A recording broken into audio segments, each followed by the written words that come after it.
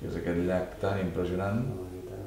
No sé si és un tòpic o no, però una de les coses que sí que aprens eh, viatjant és precisament veure que tothom eh, pateix, tothom riu, tothom s'indigna i tothom eh, es compadeix per les mateixes coses. És a dir, a tot arreu del món on vas la gent, la gent és igual. El primer que cal per preparar un viatge és haver llegit una mica doncs, novel·la, assaig, ficció, etc sobre aquell lloc que vas. No, no m'imagino allò que s'ha vist moltes vegades a les pel·lícules d'agafar una bola del món, tancar els ulls i aquí, vaig aquí.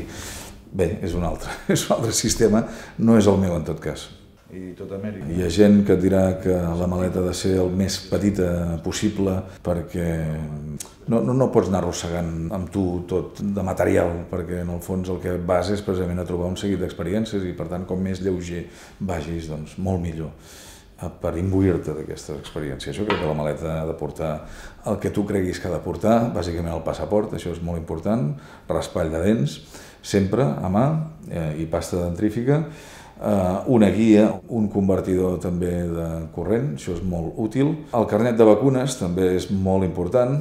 Un carnet de conduir internacional, dura un any només, i sobretot un esperit ben obert i uns ulls també molt clars i nets per veure el que el món et vol ensenyar. Als meus prestatges hi tinc moltíssimes guies de tot tipus i formats. El prestatge turisme de la biblioteca virtual hi trobareu moltíssimes més coses.